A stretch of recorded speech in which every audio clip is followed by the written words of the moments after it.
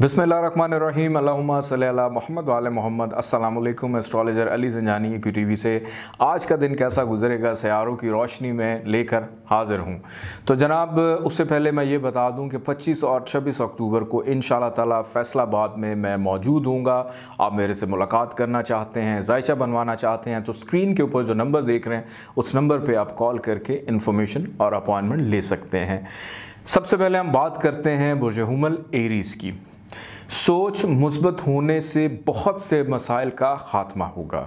غیر ذمہ دارانہ رویہ نہ اپنائیں، ورنہ نقصان کا اندیشہ ہے۔ خواہ مخواہ کے مسائل پیش آ سکتے ہیں۔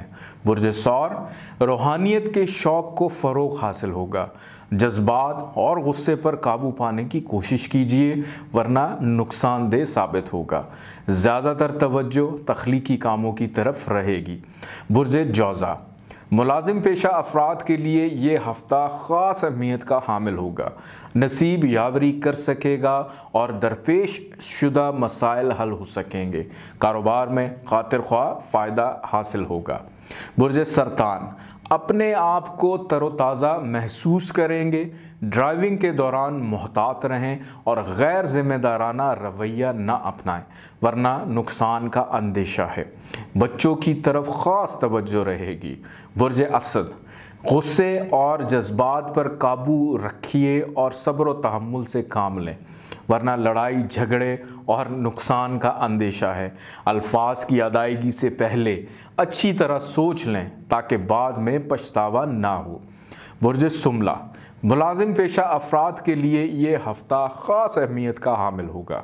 سواری لے سکیں گے یعنی کوئی کار یا موٹر بائک یا سائیکل آپ پرچیز کر سکیں گے، سیر و سیاحت کا پروگرام بنا سکیں گے، بہت سے کام خود بخود سدھر جائیں گے۔ برج میزان، مالی مسائل کا بھی خاتمہ ہوگا اور شراختی کاموں کو بھی فروغ ملے گا۔ روحانیت کے شوق میں اضافہ ہو سکے گا۔ قانونی معاملات سے گریز کرنا بہتر رہے گا۔ حاسدین زیر ہوں گے۔ برج اکرم جذبات اور غصے پر قابو پانے کی کوشش کیجیے ورنہ نقصان دہ ثابت ہو سکتا ہے۔ بچے راحت کا باعث ہوں گے۔ بیرون ملک سفر میں ابھی کچھ تاخیر ہے۔ برج کوس غلط فہمیوں کے بادل چھٹ جھکیں گے اور گھریلو ماحول خوشگوار ہوگا۔ معاملات محبت مزید بہتر ہونے سے آپ خود کو تر و تازہ محسوس کریں گے۔ خوراک کا خاص خیال رکھیے۔ برج جدی مالی پوزیشن مزید مستحکم ہو سکے گی۔ جلد بازی سے گریز کریں، ورنہ نقصان کا اندیشہ ہے۔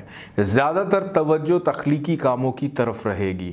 آرٹس کے شعبے میں دلچسپی بڑھے گی۔ برج دلف۔ کاروباری سفر فائدہ مند رہے گا۔ روحانیت کے شوق کو فروغ حاصل ہوگا۔ دوست احباب کی وجہ سے پریشانی ہو سکتی ہے۔ ہمسایوں کا تعاون بھی حاصل رہے گا۔ برج ہوت، کاروباری سفر فائدہ مند رہے گا۔ روحانیت کے شوق کو فروغ حاصل ہوگا۔